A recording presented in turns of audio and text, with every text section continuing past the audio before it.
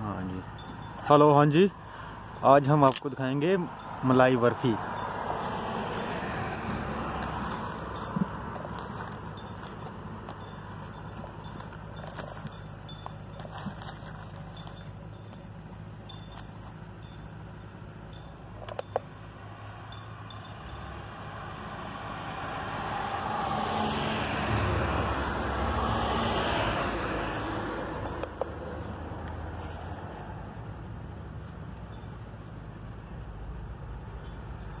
कांगड़ा की मलाई बर्फ़ी।